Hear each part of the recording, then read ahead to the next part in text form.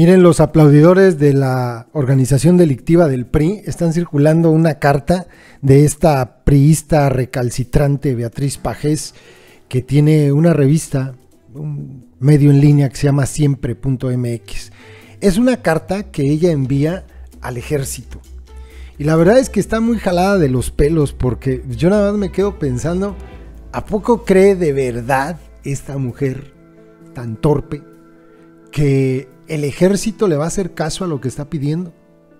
No porque lo que diga ella sea imposible, de hecho el ejército lo puede hacer, sino porque en este momento López tiene durmiendo en algodones a las Fuerzas Armadas.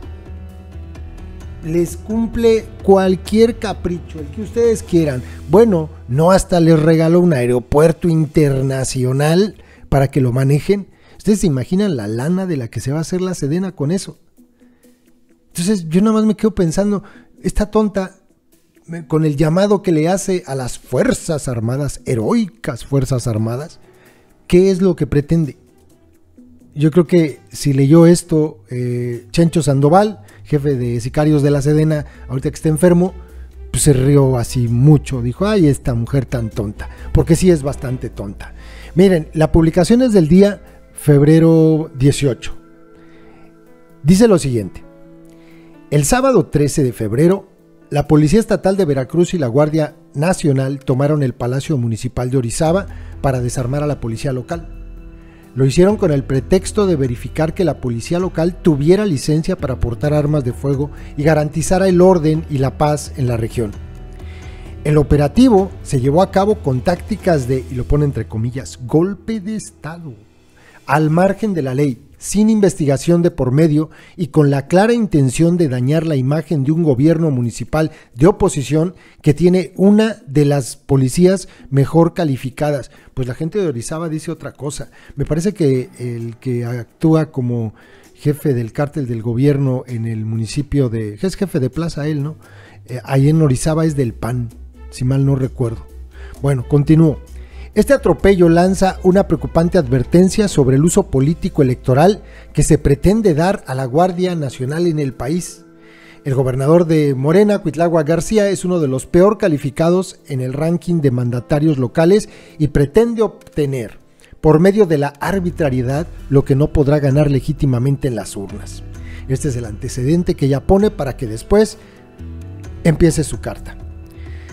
Señores integrantes del Ejército y la Armada de México, ¿están conscientes del daño que este gobierno está provocando al prestigio de una institución que se ha distinguido históricamente por su lealtad a los principios más importantes de la República? Hijo, es que ustedes saben lo que pienso de los verdes, ¿no? O sea, ¿cuál eh, principio y digo, cuál prestigio, ¿no? ¿Cuál?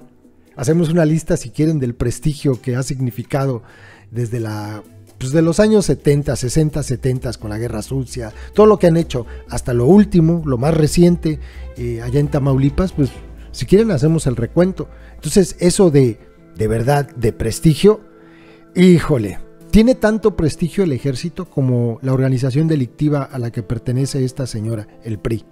Así, eh, de ese nivel están. Continúo. ¿Cuáles para ustedes las fronteras entre la obediencia ciega y la lealtad institucional cuando hay un gobierno que atenta un día y otro también contra el orden constitucional, la democracia y el patrimonio de los mexicanos. Vemos con profunda preocupación cómo la llamada cuarta transformación destina cantidades inéditas de recursos al ejército y coloca a militares en cargos de gobierno con la finalidad de cooptarlo y obligarlo a acatar cualquier tipo de decisión por más despótica que sea.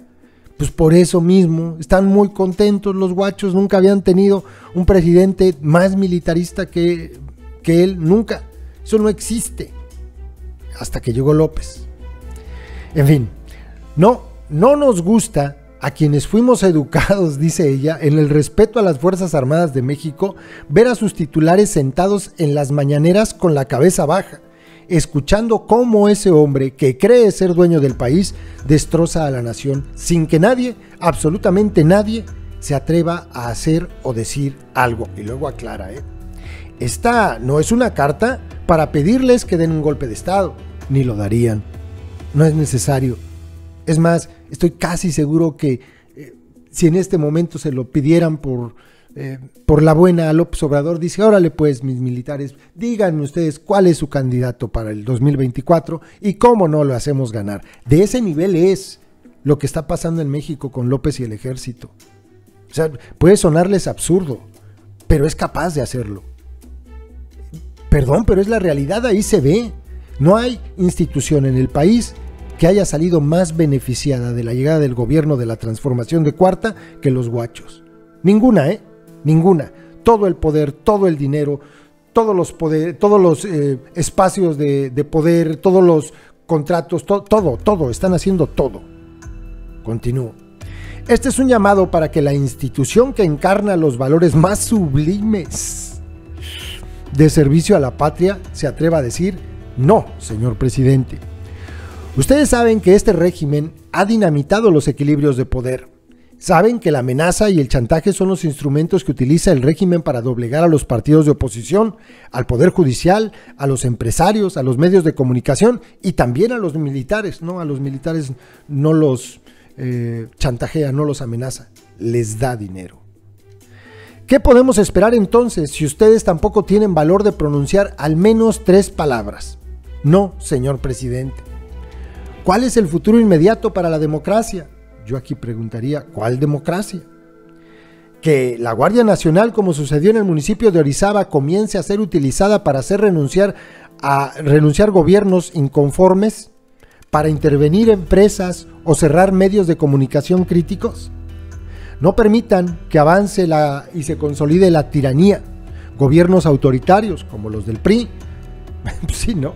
Como este, dice ella, gobiernos autoritarios como este no son un producto de la casualidad como los del PAN. Perdón, pero es que es así. El dictador tiene éxito en la medida en que los demás aceptemos convertirnos en cómplices silenciosos y obedientes de sus arbitrariedades. Las Fuerzas Armadas han sido, con toda intención, separadas y distraídas de su labor fundamental. El crimen organizado se expande mientras soldados y marinos trabajan colocando ladrillos. ¿Qué nadie puede decir al presidente que la obligación constitucional del ejército no es cargar bultos de cemento, sino proteger la seguridad de la nación?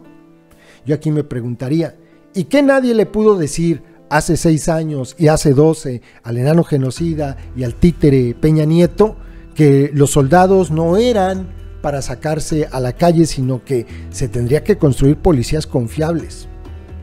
Eso me viene a la mente, ¿no? Por ejemplo, pero eso no lo dice la señora Beatriz Pajés. El mismo que antes los llamó, esto es verdad, así les decía, el mismo que antes los llamó asesinos y narcotraficantes, los ha convertido en empresarios constructores.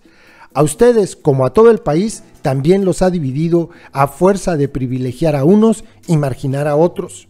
Ya fueron inoculados con el veneno de la ideología López Obradorista y se han doblegado ante un presidencialismo personalista que está vulnerando los cimientos de la República. Y en este momento me imaginé a Beatriz Pajés sacando su pañuelo, sonándose el moco y derramando dos, tres lágrimas. Pobre mujer. La pregunta es simple. ¿Las Fuerzas Armadas van a seguir acatando disciplinadamente las órdenes de un régimen arbitrario? Mientras le siga dando dinero, sí. O en honor a esa bandera, a esos símbolos y a la constitución que juraron respetar, van a tener el valor de pronunciar las tres palabras que podrían salvar a México de una tiranía. Y ya para este momento, antes de pronunciar las tres palabras, Beatriz Pajés lloraba a moco tendido. No, señor presidente. Esto es lo que escribió. La verdad es que es hacerle al tonto. Ella misma sabe qué es lo que está pasando con los guachos y ella misma sabe que no hay amenaza detrás y que no hay mm, vaya ninguna presión, que los soldados en este momento tienen tanto poder porque López así lo quiso y les sigue dando y es capaz de darles más, todavía más. A mí me parece que lo que tiene López es mucho miedo. Es mucho miedo. Por eso se refugió en los brazos de esto a lo que esta señora llama eh, la institución eh, más eh, noble, la, la, institución más prestigiosa. Pero pues, ¿de dónde? ¿Qué prestigio tiene? Solamente, y esto es muy cierto, solamente aquellos que no tienen memoria, que no se acuerdan y que perdonan así nomás, sin que haya consecuencias contra ellos, contra los que cometieron todas las barbaridades, solamente esos son los que en este momento son capaces de decir que el ejército es una institución heroica. Los que sí tenemos memoria sabemos que son unos criminales. Y si quieren hacemos la lista. Ahí se los dejo. Saludos compas.